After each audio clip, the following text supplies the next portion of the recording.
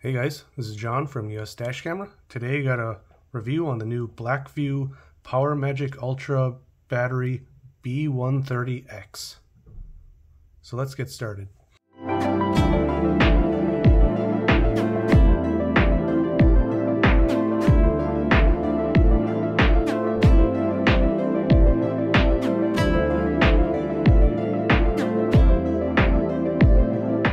If you guys are interested in purchasing this dash camera, I'll provide some links down in the description to several different retailers, including Amazon and Blackbox My Car.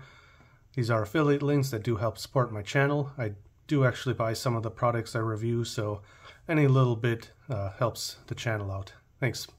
Now they did send this out for review, so I would like to thank Blackvue for sending a review unit out. Now some people might wonder uh, why would you need one of these? Do you need one of these? And I'm going to cover some of that here, but let's take a look at some of the specs first. You can see it is a 7500 milliamp hour, at 12.8 volts. That gives it 96 watt hours. And this is a lithium iron phosphate battery, which is ideal for uh, vehicle batteries or extreme temperatures because it can really withstand high heat or really cold temperatures. Here you can see fast charging. You can get a full charge in 50 minutes if you hardwire it or 90 minutes if you use the cigarette lighter socket. So we'll talk about that a little later. And it says it can get up to 30 hours of parking mode. It's pretty compact. There are a few upgraded features from the previous models.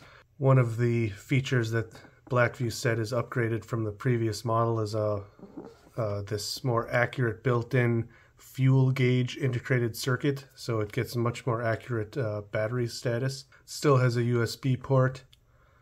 It still has the wireless app, so you can connect your phone to it and see the status at any time. And of course, it does have uh, battery protection circuitry, so it's going to shut off, for example, if it gets too hot or whatever other various reasons. Now, taking a look at it, you know, it might seem pretty big to people that haven't used dash cam batteries, and some people might wonder, why can't I just use a big battery bank, the kind that you charge your cell phone with? Well, for one, the lithium iron phosphate battery is going to be much more durable in the extreme temperatures, but also those batteries tend to not uh, charge even close to how fast this can charge, which means you might discharge that entire battery using parking mode and it might take four hours of driving to charge it back up, which isn't reasonable. So it is smaller than the previous version. I don't remember the specs at the top of my head, but I will put those up on the screen. Here you can see the new model B130X. The previous one was the B124. So that's basic. The 30, I would assume, stands for 30 hours of runtime.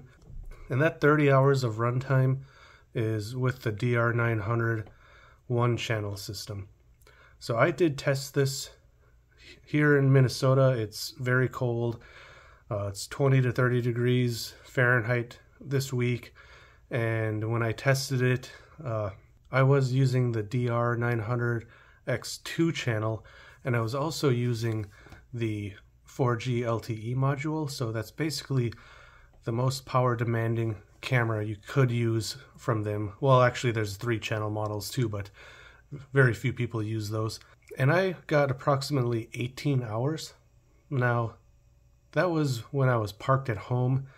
If I was parked, say, in a really busy parking lot, and it's recording nonstop, it would probably get less than that, but that's still pretty good. I, I was expecting less than 18 hours, so I was pretty happy with that amount of time. Now here you can see on the side, one feature I really like is the previous model, you had to switch it to either low or high if you were using the cigarette socket charger or the hardwiring. And now it has a built-in circuitry to know what it's charging from or whatever, uh, adjust the uh, input by itself. So it's just on or off. I really like that. So as I said, there's still a USB charging port, so you could, for example, charge your phone off of it. Here we got the dash camera output, and then this is the input. So overall, it's you know very sturdy. Um, like I said, smaller than the old one, so this might fit better in a glove box.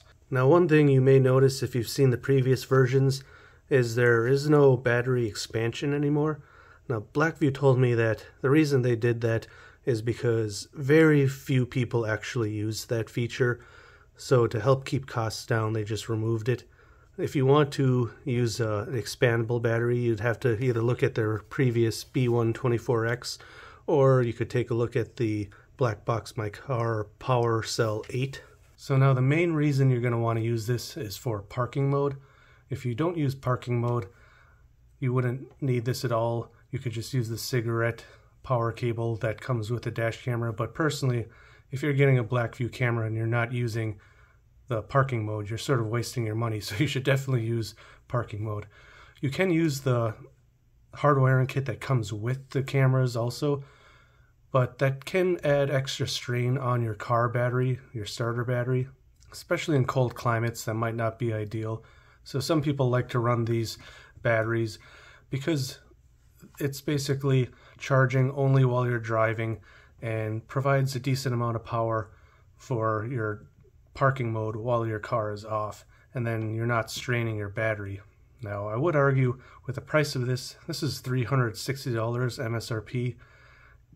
Some people might think that shortening the lifespan of your car battery isn't that big of a deal when this costs $360. So this is definitely more of a high-end luxury accessory for Blackvue dash cameras. I don't think everyone needs one, but they can be pretty useful, especially in cold climates. So now I want to talk about the different cables that come with it. As I said before, you can hardwire it, which is going to be the way I recommend everyone does it. This is how you're going to get the fast charging, and you're going to be able to get a full charge in 50 minutes. Now, if you've never hardwired something like this, there are pretty good instructions or tutorials on the web. Down in the description, I'll provide a link down to Black Box My Cars tutorial. It's a very useful resource. But again, this is the option I'm going to say everyone should go with if they can. So here is the 12 volt cigarette adapter. So this will just plug into your 12 volt socket and you're going to get a full charge in about 90 minutes. And I think that's a little too long for most people, depending on how long they're running parking mode, which is why I don't really recommend using this unless you really have to. Now, to connect to the cameras itself, we have the cable that you would connect your dash cams three-wire hardwiring kit that came with it. Most newer Blackvue cameras have a three-wire hardwiring kit. One I believe, let me double check off the top of my head. One of, uh, I believe, yellow is going to be the uh, connection that's only powered when your car is on, and then red is always on. Uh, I could be mixing those up, so uh, make sure you read the instructions if you're doing this yourself. And then, of course, black is ground. Now here we do also have a cigarette style 12 volt socket. If you have one of the older Blackvue dash cameras that uh, switch to parking mode after a set given amount of time, uh, then it, this is actually what I used for testing. Uh, you can just use this and it's pretty simple, but uh, what I like about hardwiring it with this is as soon as your vehicle turns off, it automatically switches to parking mode. With this, it might take five or in some cases, like the last time I measured, it was 20 minutes before it switched to parking mode for some reason, which means it's spending uh, more energy while it's just sitting there. Now, one thing I wanted to talk about also is an optional accessory, uh, not sold by Blackvue specifically, but you know, if for whatever reason you're not getting enough charge and you want to bring the battery inside and charge it up, there's a lot of these kind of wall adapters but I will say you have to be careful with which ones you get because if the amperage isn't high enough, um, the battery might try to be drawing too much power. And my last one was overheating. And you know, you don't want one of these to overheat and melt. I literally had one of these melt because it got too hot. So I was able to find one that seemed to have a high enough amperage and you know, I'll provide a link down in the description if you're interested in this because now that I finally found one that works well with charging batteries, I'm not afraid of burning my house down. So that's uh, really useful if you want to charge your battery inside your home at times or maybe just in your garage and your toolbox or something. Quickly, I wanted to touch on the app.